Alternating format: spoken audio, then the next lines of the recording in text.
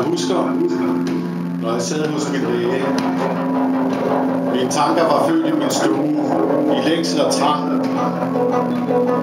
Min læge fyldte sin konsultation med bøger og magt, og min stue svandt ind, og mine tanker kom ud som misfoster, der skulle slås ihjel.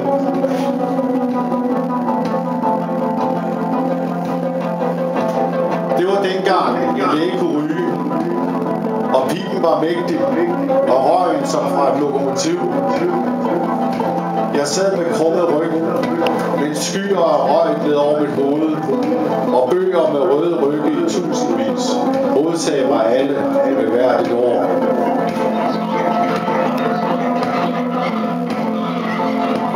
Dengang jeg sad hos min læge, var der meget, jeg ville have sagt bunker på bordet, og min drømme om min læges virkelighed mødte hinanden på et for mig ukendt kemisk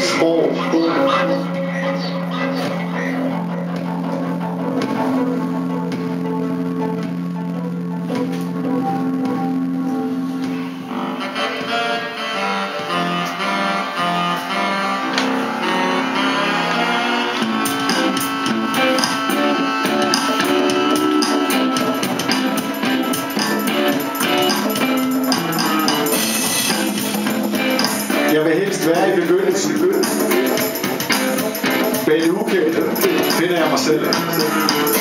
Men, men, en poetisk sætning, som langsomt eksploderer. En saxofon, som overrasker med sin ubestemmelige beslutsomhed. En dråbe, som falder gennem luften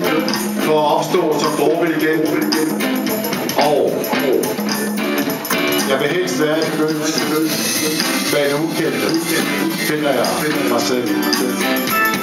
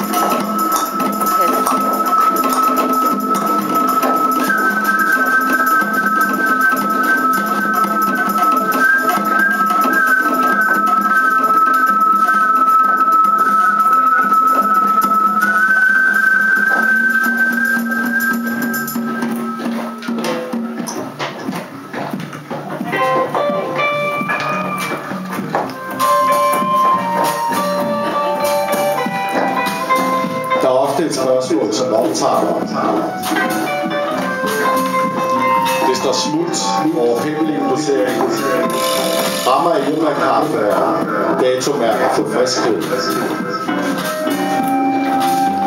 Kastes mod mig fra hele mod fortorvet og gentages udfordret fra Søtorvets røde skældes Mit spørgsmål ligger tungt på hovedet. Jeg kæmper mig gennem, gennem en grød, grød af lyd, af lyd og lys. En mand passerer hurtigt forbi, og en vender sig mod mig og spørger, hvordan det går.